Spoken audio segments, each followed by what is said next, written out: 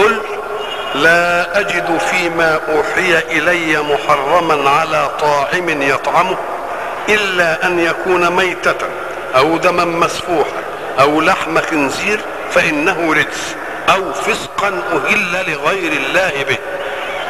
فمن اضطر غير باغ ولا عاد فإن ربك غفور رحيم. الحق سبحانه وتعالى تكلم عن التحريم في آيات كثيرة.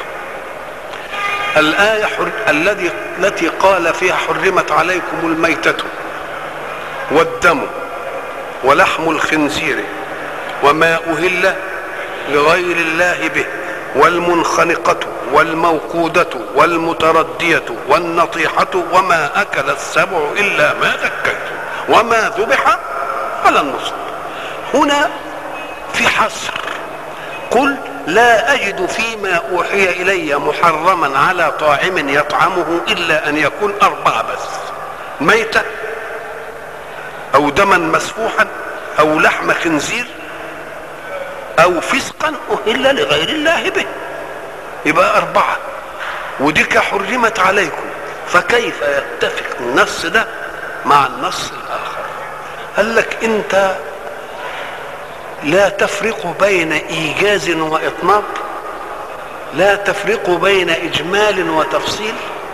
الذي ترك في هذه الآية داخل في الميتة لأن المنخنقة آه والمتردية والنطيحة واللي دبع على النصب أهو إلا به لغير الله ده موجود. يبقى اذا كلمة الميتة هنا ها؟ داخل فيها الإيه؟ طيب وهل لا توجد محرمات إلا في الآية الأولى ولا اللي في الآية الثانية؟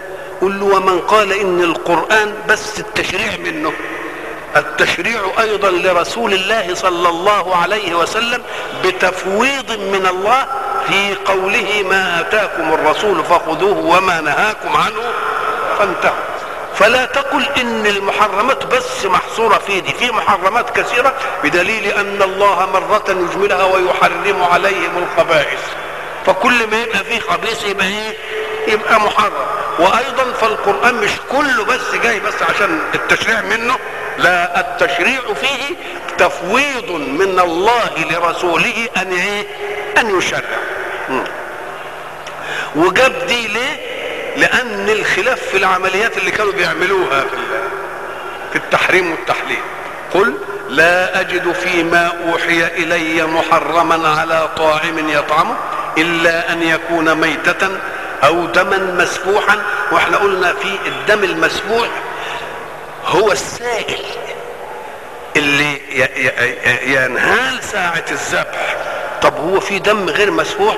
أم قال لك آه دم بلغ من قوة تماسكه أن كون عضوا في الجسم. الكبد ما هو دم بس بلغ من تماسكه أنه كون إيه؟ والطحال دم. ولذلك يقول الرسول أحل لكم ميتتان ودمان آه السمك والايه السمك والجراد والكبد والطحال. على. على على المنطق بتاع التحريم كان الميتة من السمك لا نأكله. ما كانش كده بيلعب قدامنا كده ما, ما ناكلوش. إنما النبي عليه الصلاة والسلام قال إيه؟ أحل لكم إيه؟ ميتتان ودمان السمك والجراد. الاثنين في الميتة دول. يبقى الميتة من السمك ناكله والميتة من الجراد ناكله. العلة إيه؟ ليه؟ إشمعنى دول يعني؟ أم قال لك؟ لأن الكلام فيما له نفس سائلة. له نفس سائلة يعني دم بيجري في الله. والدم كما قلنا بيحمل الأشياء الضارة وتتنقى في الكلى وفي الرئة وده مش عارف إيه. إنما السمك والجراد لا نفس ما لهمش نفس إيه؟ سائلة. تمسك السمك كده من ظهرها وتذبحها ما ينزلش منها إيه؟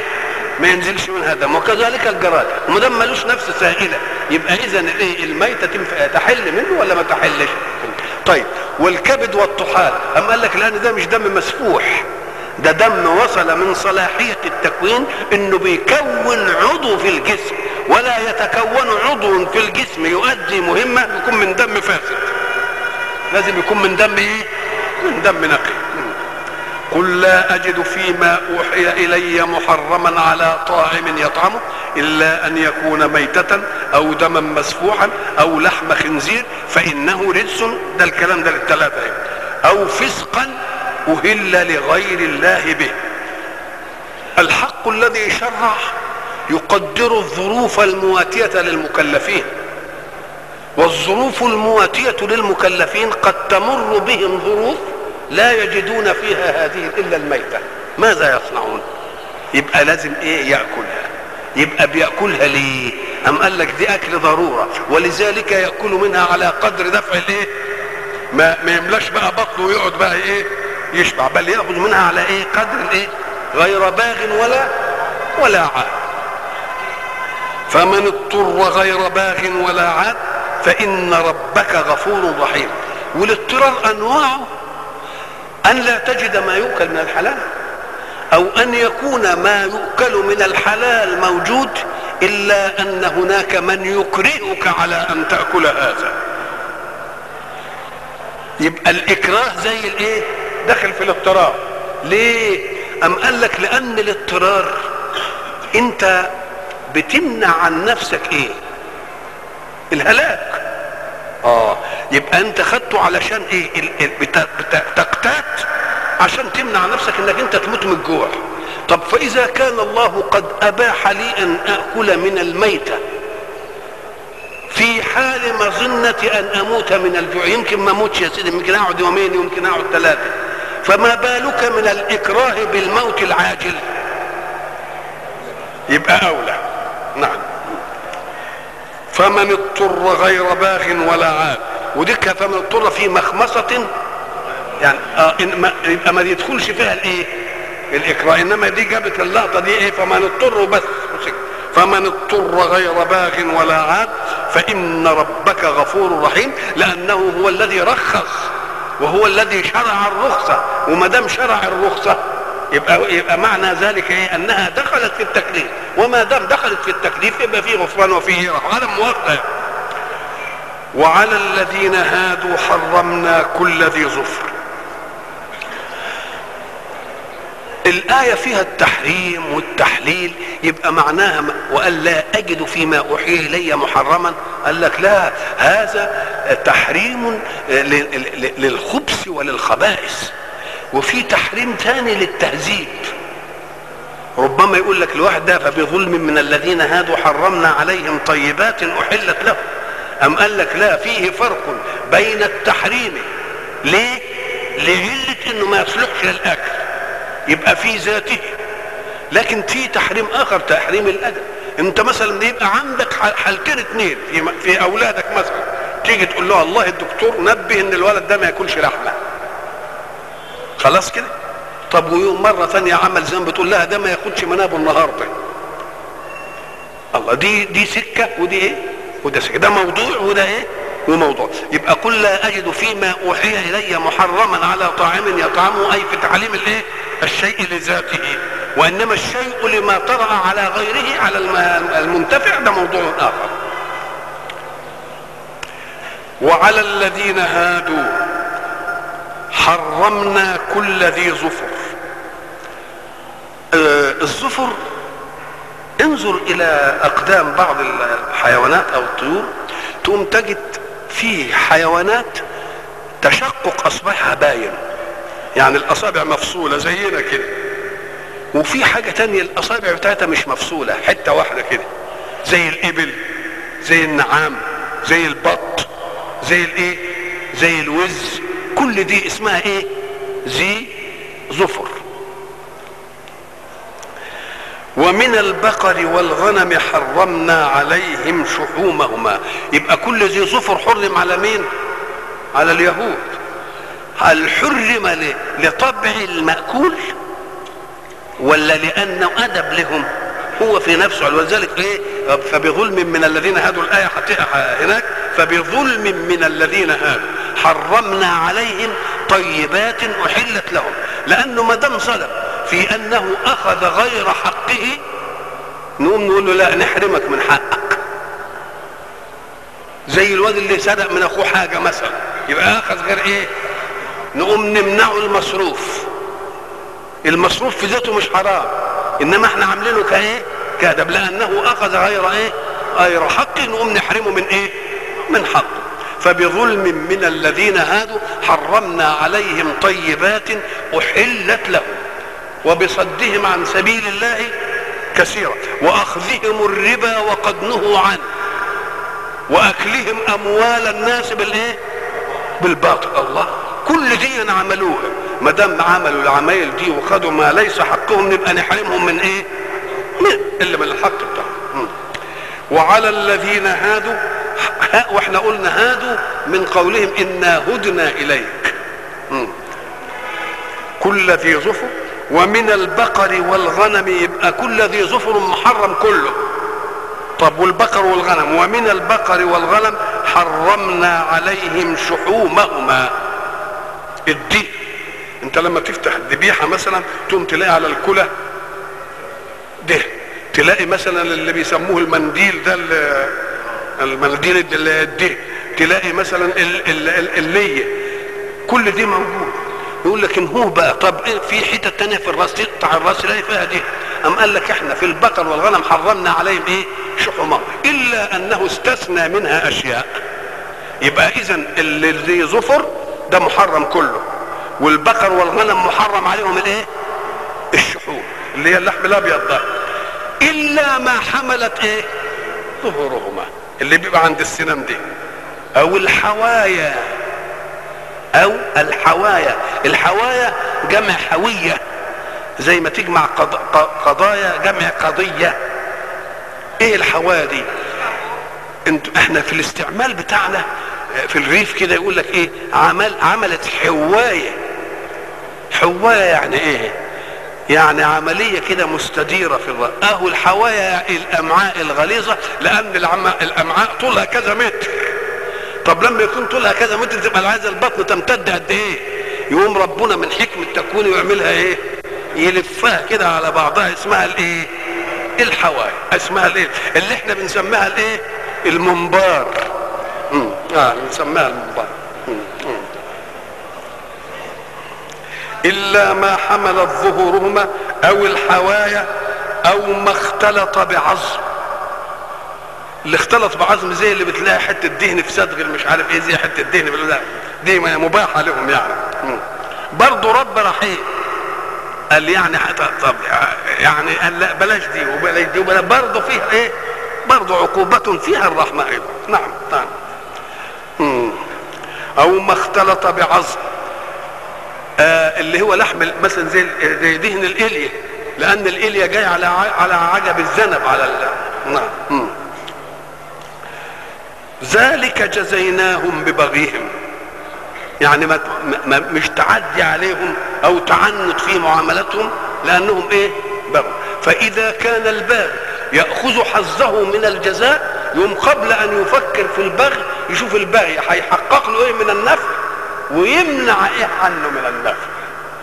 يقوم لما يقارن الاثنين يقوم يلاقي وانت ليه يا أخوي؟ صدوا عن سبيل الله وأخذوا الربا عشان ينموا أموالهم وعشان يبقى عندهم وأكلوا أموال الناس بالباطل. نقوم نقول له طيب الحلال بقى هن إيه؟ هنحرمه عليه ذلك جزيناهم ببغيهم وإنا لصادقون. وايش إن لصادقون دي؟ آه لأن علة التحريم لشيء حدث منه وحدث منهم أخبر الله فيه بقوله فبظلم من الذين هادوا يبقى أنا صادق في أنهم ظلموا في أنهم صدوا عن عن سبيل الله كثيرا وأخذوا الربا وأكلوا أموال الناس بالإيه؟ بالباطل. يبقى يعني صدق الحيثية في التحريم. فإن كذبوك فقل ربكم ذو رحمة واسعة. يا سلام. طب إيه يعني فإن كذبوك؟ قل لهم ربكم ذو رحمة واسعة. لأن كان مقتضى أنهم يكذبوك فيما أخبرت به عن الله أن التكذيب نفسه ما دام بظلم منهم يحصل لهم كذا. كان لازم يجي لهم العذاب على طول. أم قال قال بس ربنا ما عجلش بالعذاب؟ ليه؟ لأن الله إيه؟ آه نعم فقل ربكم ذو رحمة واسعة ولكن إياكم أن تطمعوا في الرحمة إنها رحمة تأجيل بس إنما العذاب بتاعه مش حي إيه؟ مش هيفوتكم برضه هيجي لكم الايه هيجي لكم العذاب فإن كذبوك فقل ربكم ذو رحمة واسعة ما قالش ربي كمان شوف تحنين قلوبهم. ربكم ذو رحمة واسعة. علشان يفهموا يعني يقول لهم اخذوا على عرضكم لأنه رب خلق وتولى التربية وأعطى وأعطى وأعطى وأعطى. لأنه حين يقول ربي ما يبقاش يمكن يا سيدي ربك أنت أنا مش رباني. لا ده هو ربك برضه. لأنه هو اللي خلق وهو الذي خلق من عدم وأمد من عد نعم. ولا يرد بأسه عن القوم المجرمين. سيقول الذين أشركوا لو شاء الله ما أشركنا. كلما تقرأ آية فيها سيقول الذين أشركوا فاعلم سيقول فاعلم أنها تنطوي على سر إعجازي للقرآن. وسر إعجازي للقرآن الخصم هو الذي يعطي هذا السر. علشان تعرف كيف يؤدي عدو الله الدليل على صدق الله. مما يدل على انه غفلته. زي ما قلنا هناك في قولك سيقول السفهاء. طب سيقول معناها انهم لم يقولوا الآن. يبقى يخبر القرآن أنهم سيقولون. وما دام القرآن قال قال القرآن دي وخبى الآية دي ولا قالها قرآن يتلى ويصلى به. يقرأ ويصلى به. بل سيقول السفهاء من الناس بالله لو أن عندهم عقل وعندهم شيء من الفكر أما كانوا يسترون القول حتى يظهروا المتكلم بالقرآن بمظهر إنه ما بيقولش كلام صح؟ يقوم كانوا حتى يقولوا هو بيقول سيقول السفهاء وإحنا لا قلنا ولا اتكلمنا ما اتكلم إنما برضه يقولوا يقولوا برضه. مع أن الآية موجودة. ليه؟ لأن الذي أخبر هو الله. وما دام أخبر هو الله لا يمكن أن يجيء احتياط من خلق الله ليستدرك على صدق الله. مش ممكن ابدا. سيقول السفهاء يبقى هيقولوا. طب ده هم سمعوا الكلمة دي؟ بقى ما كانش يسكتوا؟ مسحوبين من لسانهم. إيه وعلشان يأيدوا القرآن. إيه دي زي دي تمام. سيقول الذين أشركوا لو ولا يزالون يقولونها إلى الآن. كل مسرف على نفسه في عدم اتباع منهج الله يقول لك هو ربنا اللي بيهدي وربنا اللي بيضل ما هو اللي خالق مش عارف ليه ما هو اللي ويقولها كده بنفخة. بيقولها بإيه؟ بنفخ. سيقول الذين إيه؟ أشركوا لو شاء الله ما أشركنا. تلك الحجة باقية إلى يوم القيامة. كل ما واحد يجي يتكلمه في أي حاجة يقول لك ربنا هو اللي ربنا هو اللي بي الله. على الأول. سيقول الذين أشركوا لو شاء الله إيه؟ ما اشركوا ولا حرمنا من شيء. ما هو الكلام في تحريم ما أحل الله. فجابوا الاثنين. قضية في العقيدة وقضية في التكليف. قضية العقيدة لو شاء الله ما إيه أشرك. إذا فنحن أشركنا بمشيئة الله.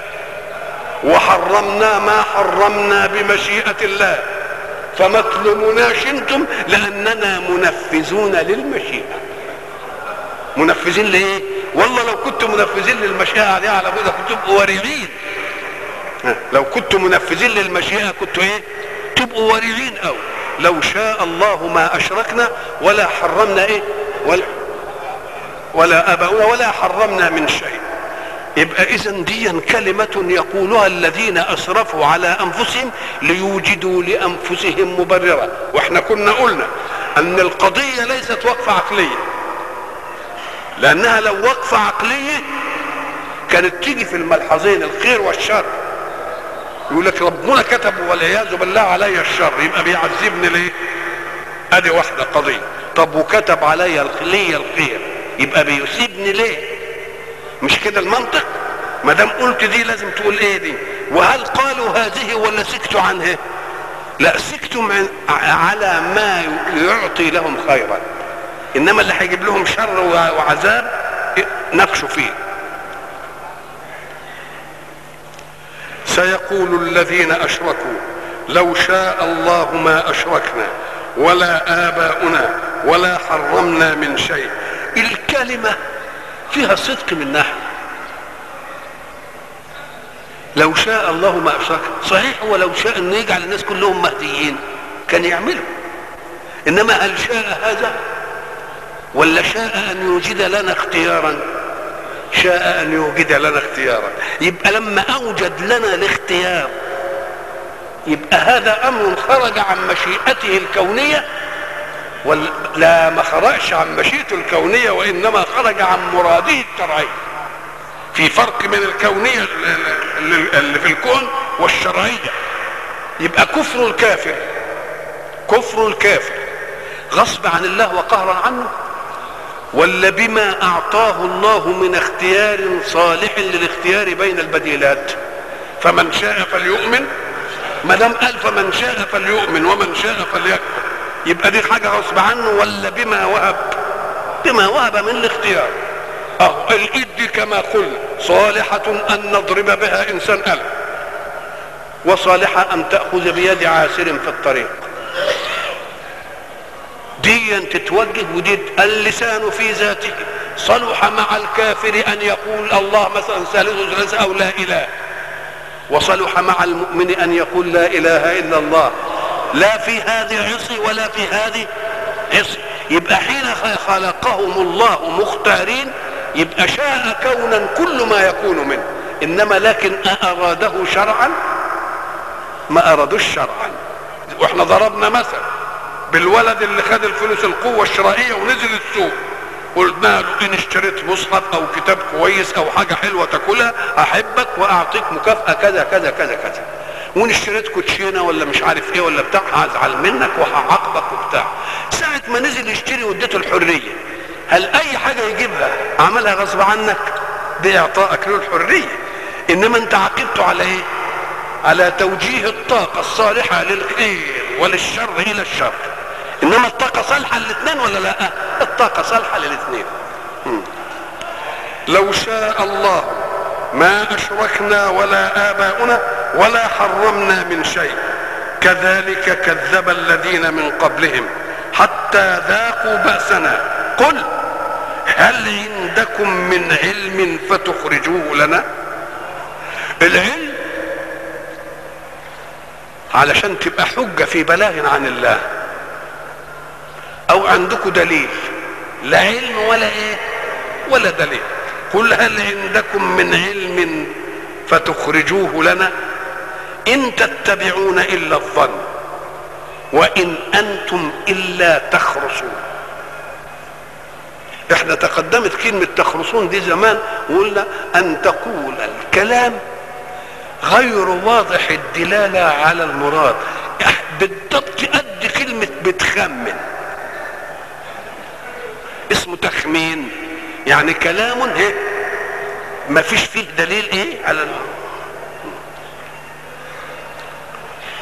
قل فلله الحجة البالغة. صحيح؟ لو شاء لهداكم أجمعين. لو شاء لهداكم. طيب طب ما هم قالوا كده برضه. مش هو لو شاء الله إيه؟ ما أشركنا ولا آباؤنا. وبعدين لله الحجة البالغة قالوا إيه؟ لو شاء يقول لك إيه ولو شاء قصرهم على الهداية ما استطاع واحد منهم أن يخرج عن هذه. ولكنه لم يشأ ذلك بل أراد أن يكون الإقبال على الإيمان به واتباع التكاليف أمر داخل في اختيارهم قل فلله الحجة البالغة فلو شاء لهداكم أجمعين.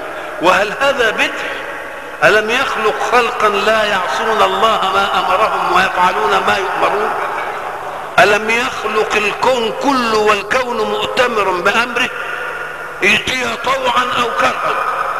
مش كده؟ قالوا له لا لا ما أتينا طائعين.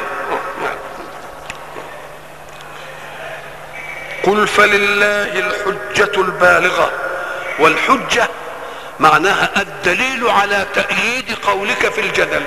ادي معنى إيه؟ حجة. إحنا حتى آه نسمي عقودنا إيه؟ حجة. دي الحجة على ملكيته العقد الاخضر أهو. حجة على مسجل. دي الحجة. قل والحجة البالغة. بالغة يعني حجة بالغة. يعني لا ينفذ منها شيء ابدا يعطل المراد منها. مش ممكن